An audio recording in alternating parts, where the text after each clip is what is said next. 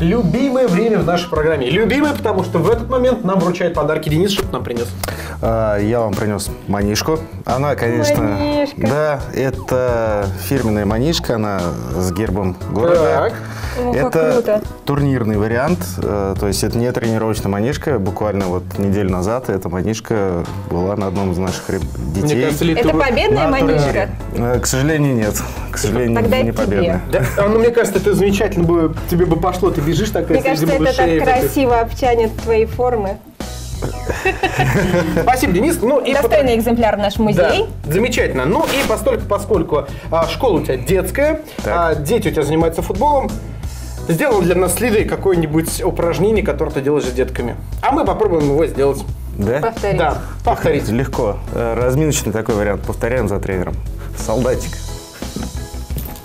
Звездочка. Зайчик.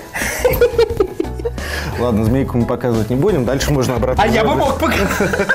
Давай, Кирилл. Нет, нет, у нас центр другой висит. Все, размялись, пойдем поработаем. Пойдемте поработаем. Спасибо, Денис. Да.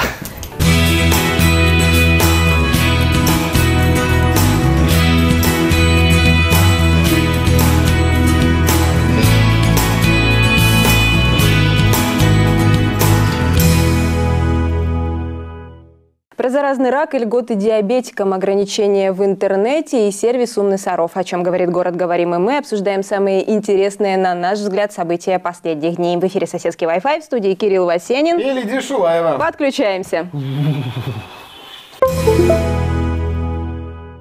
Наверное, традиционно для наших последних выпусков начнем э, наш разговор с тобой о бюджетном процессе в городе Сарове. Это моя любимая тема, потому что я в ней ничего не понимаю. Ну, Объясняй. Кирилл, я не вылажу с этих заседаний. Мне надо с кем-то делиться этой Давай. болью, вот честное Изливай слово. на меня свою эту, В общем, свою эту боль. свою эту боль. Да, в общем, депутаты пытаются отстоять льготы диабетикам Это хорошая вещь. Это хорошая вещь. Плохая, плохая в том, что администрация не сдается.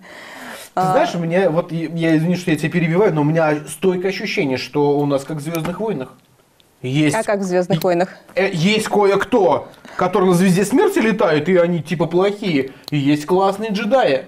Звезда смерти – это департамент финансов, похоже, да, который да, да. Джедаи это ребят, которых мы с вами выбрали вот ну, последний раз, когда Дум выбирали городскую. Департамент финансов говорит тем, что он диктует четко вот эту позицию, что мы не можем финансировать сферы, не относящиеся к вопросам, э, к местным вопросам. И вот льготы диабетиков, они э, как раз, как и э, животные, питомник для животных, как и э, завтраки для школьников, как и продленки, они не попадают под статьи расходов, которые могут финансироваться из местного бюджета. И, кстати, в эту же кучу еще добавляется льготы на посещение детьми детских лагерей летом. Да, да, да, куча всяких льгот, они отменяются. И, э, в общем-то, депутатов, в принципе, понять можно, потому что они говорят, друзья мои, вы нас взяли в заложники, потому что э, долго придется объяснять, штрафы, не штрафы. Ну, общем, А, да. Эта Дума войдет в историю как Дума, которая э, отменила школьные завтраки бесплатные, которая отменила бесплатную продленку, которая лишила льгот диабетиков,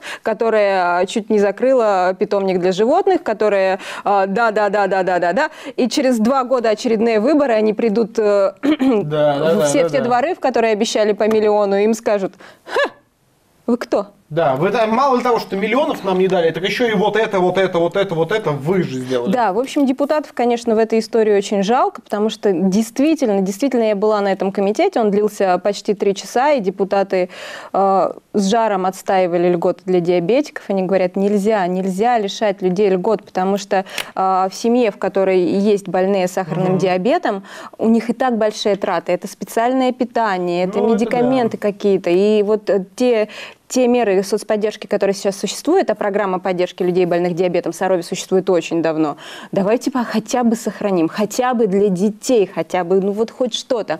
Ну, с другой стороны, ты говоришь, хотя бы для детей. Вопросов нет, я согласен. Ну, а да, всем остальным-то как же? А сколько стариков? Ну, тоже верно. И позиция глав врача нашего КБ-50, он сказал, что если мы отменим а, вот те льготы, которые имеются, компенсация за тест полоски для пожилых, если мы введем, сейчас они хотят привязать администрация к прожиточному минимуму, даже пенсия 12-14 тысяч, это выше, чем прожиточный минимум. Но Ну, на эти тест-полоски, на в зависимости да. от течения болезни, уходит от 800 а, до 3-4 тысяч В э, месяц. в месяц, да. А, На что э, товарищ Оков сказал, вы понимаете, что все пенсионеры просто перестанут контролировать сахар в крови. И вы понимаете, к чему это приведет. И действительно, ну это так. Люди начнут экономить на своем здоровье не от того, что а, куда-то эти деньги Ну смогут да. еще потратить, а от того, что вот просто этих Их денег просто нет. нету. Чем все это закончится, к моменту выхода программы в эфир уже будет известно, потому что в пятницу у нас э, на Думе рассматривается бюджет, его либо примут в том виде, в котором его внесла администрация, либо отклонят. Мне даже интересно. Ну, будем посмотреть, как говорят. Будем посмотреть. надеяться, мы, если что, на стороне тех, кто отстаивает. Мы за людей, Мы да. за людей.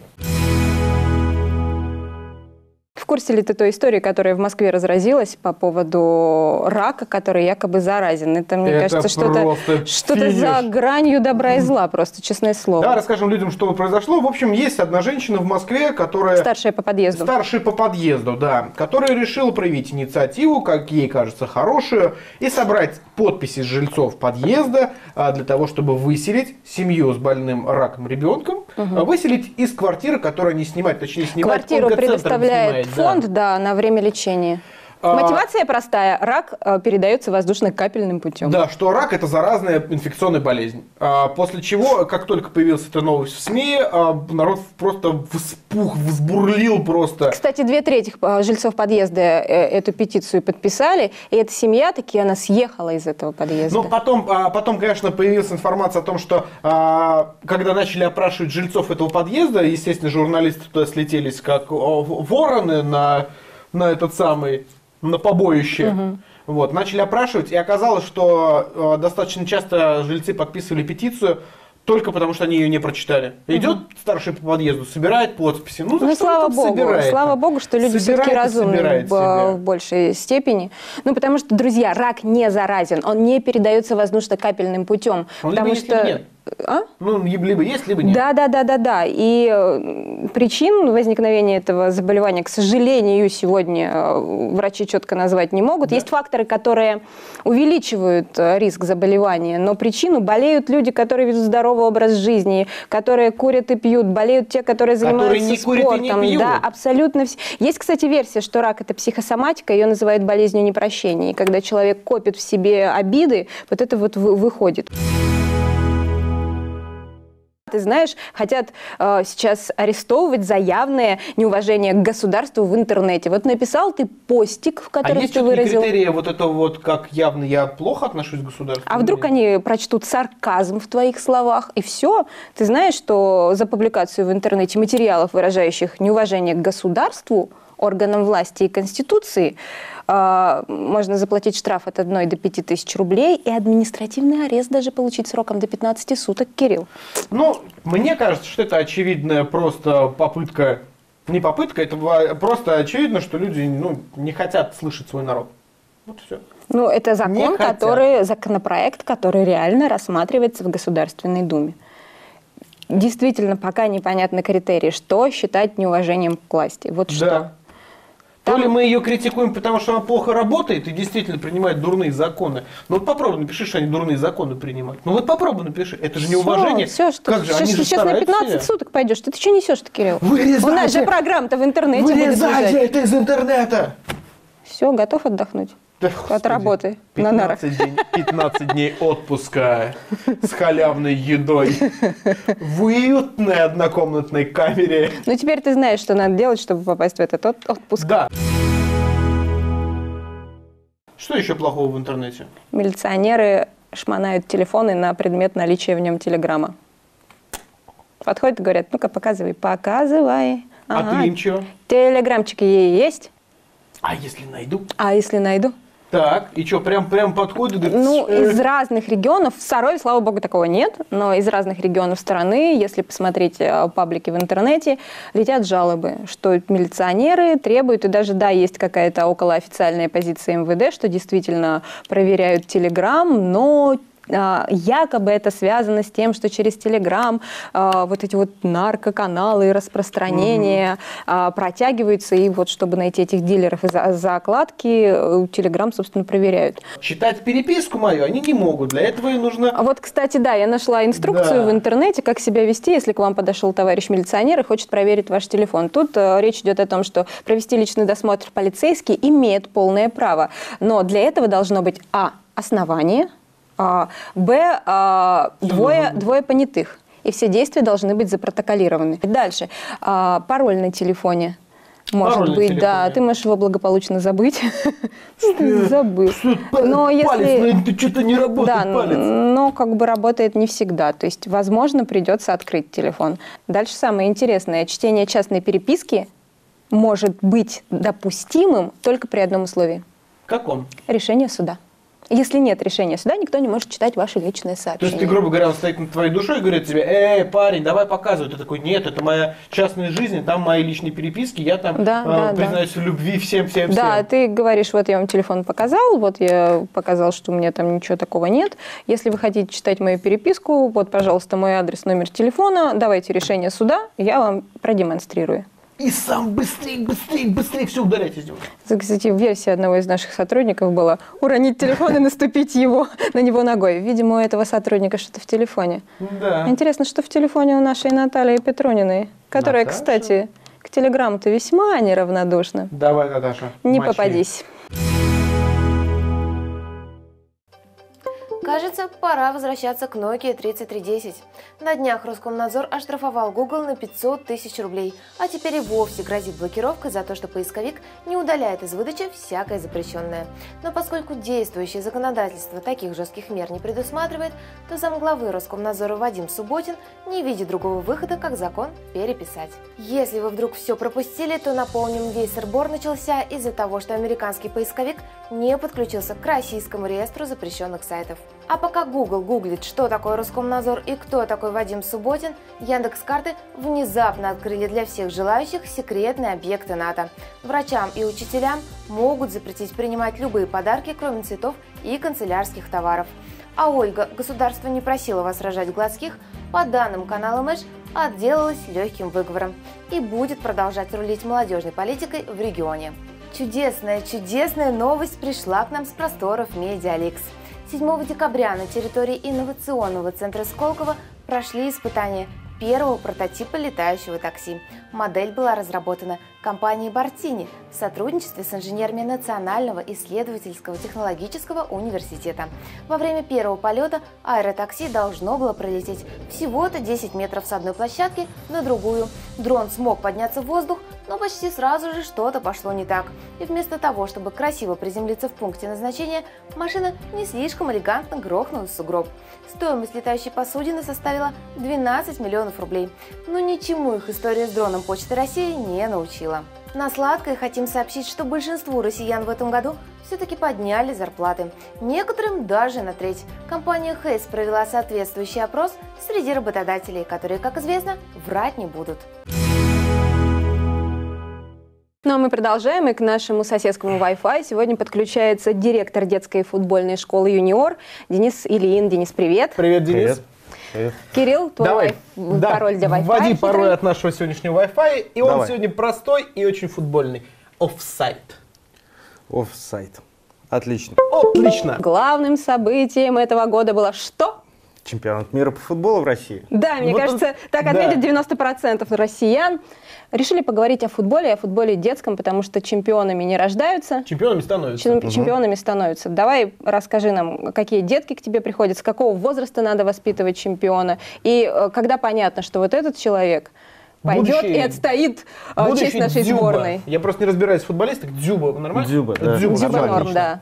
А, наша школа работает с детьми, начиная с трех лет. А, максимальный возраст ребенка на текущий момент в нашей школе это 7 лет. 7 лет. То есть, по сути, это дети, которые еще даже не начали ходить в дюш, которых еще не берут в дюш. Вот. То есть начинаем подготовку и развитие детей с самого раннего возраста. Ну, и так оно имеет под собой какое-то основание. Это надо или это просто, ну, скажем так, блажь родительская? Надо чем-то занять ребенка. Да, надо просто энергию куда-нибудь выплеснуть. Вот не берут трех лет, так вот поведу его вот в На школу. самом деле то, что ты сказал, это две стороны одной медали. То есть э, специфика нашей жизни сейчас такова, что дети мало двигаются. Они мало двигаются в садах, мало двигаются в школах. То есть максимум, что они получают, это э, полчаса, час в неделю Ага. какой-то физкультуры. Не знаю, какой-то физкультуры в А садике. все за компьютерами сидят. Все компьютеры, за- планшеты, За книжками телефоны. хотела сказать. Да какие книжки? Аналоговый ты человек, Лидия Валентиновна. Да-да. Вот. э, На улицах проводят гораздо меньше времени дети, чем... э, Чем мы когда-то. Да. То есть, а улица, она такая среда достаточно суровая, и она формировала базовые э, качества физические детей Мгм. более раннего возраста, наши, более старшие. То есть люди в естественной среде, уличные раньше дети развивались, э, развивали свои физические качества. Росли Л- крепкими здоровыми, да. Ловкостные, кондиционные, конечно, даже просто пройти по бордюру, это на самом деле большая нагрузка для трехлетнего ребенка на вестибулярный А по аппарат. навесным тротуарам, когда где-то что-то затопит, это ж прям ух, да. красота. И то есть, получается, детская футбольная школа это для общего физического развития. Или все-таки звездочку футбола можно все В этом разглядеть и в три да, можно года? ли разглядеть уже потенциал в ребенке или нет? А, Потенциал разглядеть можно в пределах его возраста, либо задел на несколько лет. Ну, приведи на примере, ну, грубо говоря, того же Артема Дзюба, да? еще Да? Артем. Артем Дзюба. Вот приведи, например, а ты знаешь его историю становления этого футболиста или нет? Нет, я... А есть кто-нибудь, ну, кого в, в- Может кого быть, ты не, знаешь, не да? наш российский. Не наш российский. Не, я могу сказать про современных э, футболистов Вот со российских. скольки это лет они начинают тренироваться? Как у них проходит это? Братья Мирончуки сейчас это игроки сборной России, э, лидеры локомотива московского. Мгм. Ребята из области, э, и- то есть они не москвичи. В 12 лет э, их разглядели и предложили переехать в Москву в интернат, Мгм. спортивный футбольный интернат. Мама была необеспеченная, но она поставила все на своих детей, она взяла и переехала вместе с ними Мгм. чтобы дети могли на этом поприще развиваться. Собственно говоря, им повезло, что они попали к правильному тренеру, в правильную среду и были без отрыва от своей семьи. Потому что очень часто сейчас в России выстроен а, юношеский спорт так, что зазв- э, появилась звезда, селекционер ее нашел. Селекционер? Да, кто Да. это? А кто это? Кто Э, это? Селекционер это человек, который ездит по каким-то футбольным мероприятиям, турнирам детским, юношеским и выискивает как раз эти звездочки. Я Типа думала, промоутер селекционер это тот, кто новые сорта огурцов выводит. Нет, в футболе Или курицу с яйцом соединяет там. Обратно, что ли? Да. Возьми ее обратно. Денис, вот то, что ты сейчас рассказал, э, звучит как ну, сказка про спортивную Золушку, потому что э, и мы уже говорили про детский Ну футбол да. как-то в передаче в разгар Мундиаля, э, о том, что чтобы попасть в большой спорт, э, в какой-то именной клуб, нужно много денег. Какой бы ты талантливой звездочкой не был, там 12-летний, там Ну, в общем, 15-летний, э, и ты играешь в каком-то захолустье, ну нет у тебя шансов с- выстрелить. Вот просто нет, если нет денег. Все решают в спорте деньги. Нет. Ну, Нет? м, Скажем так, э, сам лично не сталкивался, но с коррупцией в детском и юношеском футболе я слышал. Были статьи. Но это не в Сарове, конечно. Какой у нас может быть коррупция? Да В. Сарове об этом я не слышал. Но в принципе в, в практике существует такое. Я полагаю, в любой отрасли наш, в нашей стране и в мире суще- может существовать коррупция. Кроме журналистики. Ну, Хо-хо-хо. Вот. э, пример есть также Александр Головин, еще одна звезда сборной Да, России. он вообще молодчик. Э, парень, ему, по-моему, 20 лет еще нет. Мгм. Он реально из глубинки. Он из какой-то Сибири, из деревни. Э, Деревня не занимается добычей нефти в этой Сибири, да, то есть парни Чем они тогда там живут? народным хозяйством. Промысловые, Курица с яйцом скрещивают. промысловые грибы у них Вот парня, парень тренировался в местной школе, и тренер просто по доброте душевной привез его на просмотр в большой клуб. Большой клуб его увидел и взял. То есть, если ты талантлив, то ну, ты Если найдешь в свое определен- место. Ну, как всегда, Или- Должно если в определенный Да, момент стечение обстоятельств Да. должно сложиться. нужное время, нужное место. И Если ты талантлив, да, это может случиться.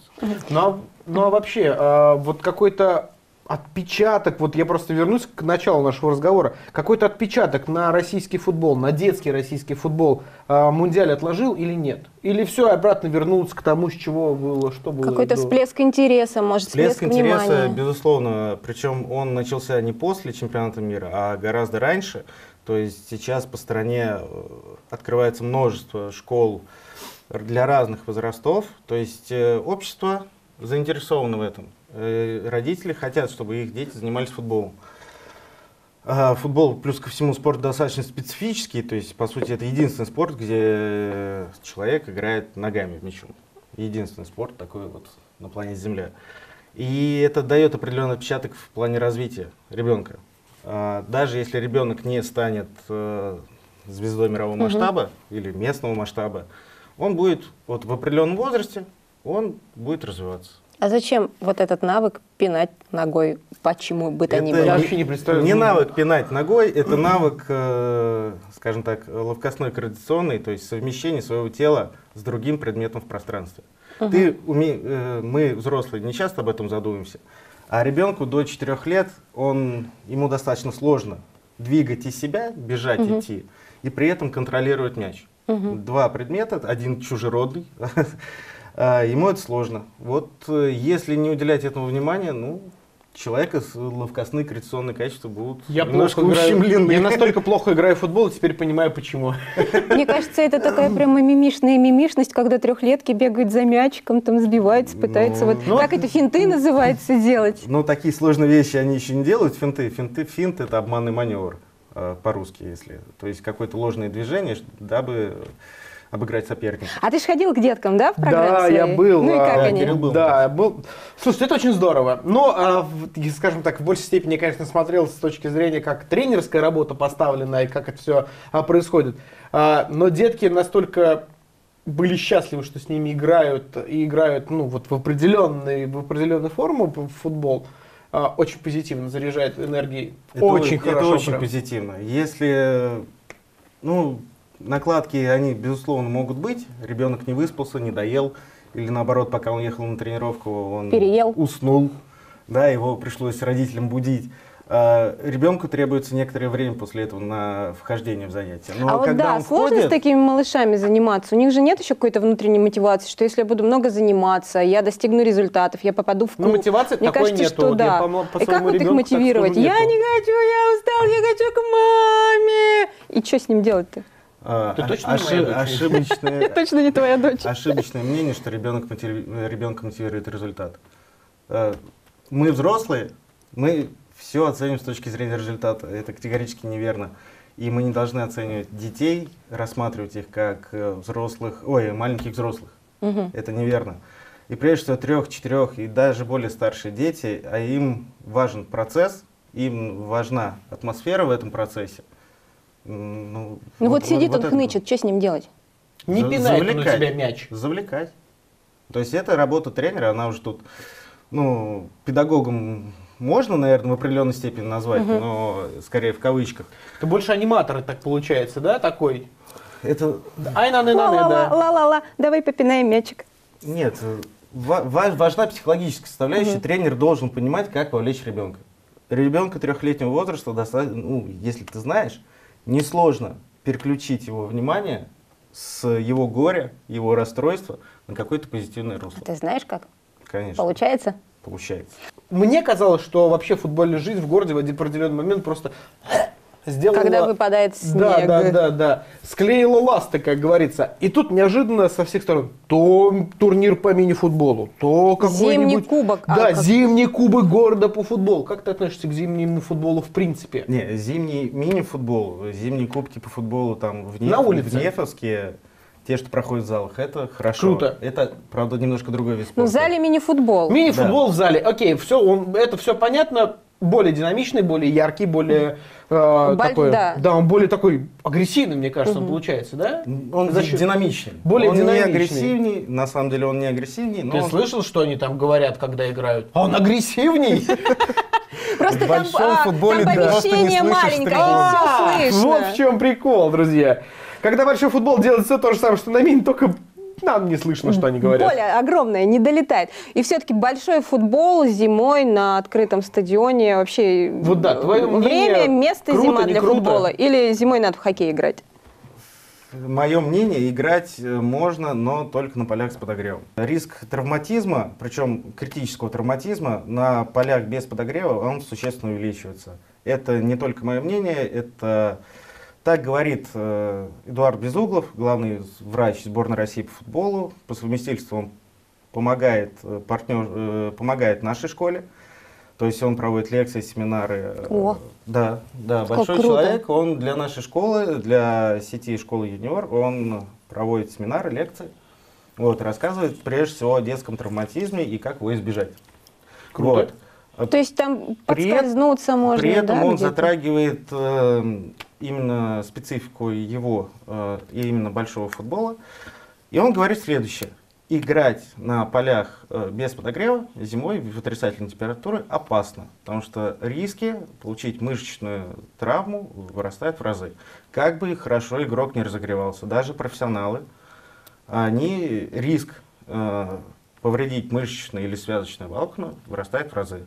Профессионалы разогреваются, получают травмы. А что говорить о любителях? Обидно, да, так Ну получить да. травму зимой Скажи, и поставить пожалуйста, вот крест если на бы карьере. тебя жизнь в какой-то момент не толкнула в сторону футбола, вот зимой каким видом спорта ты бы занимался?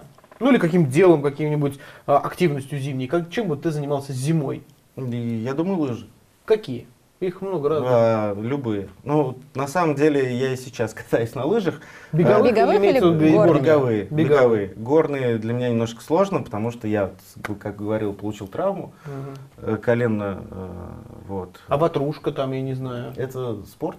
А, да почему нет? Да, Это пешком с этой ватрушкой в гору забраться, это ого-го какой А если спорт. посадить на нее ребенка, если уже силовая тренировочка? Кирилл даже зимой в зал не ходит, он дочку на ватрушке катает и говорит, все, достаточно физической нагрузки. Спросим у жителей нашего города, какую зимнюю активность или зимний вид спорта предпочитают именно они. Ира, вперед!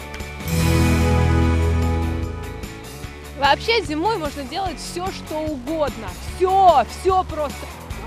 Угодно! Все, что угодно, угодно, угодно. А еще зимой можно кататься на ватрушках, ледянках и даже на обычных пакетах. Ну, поехали.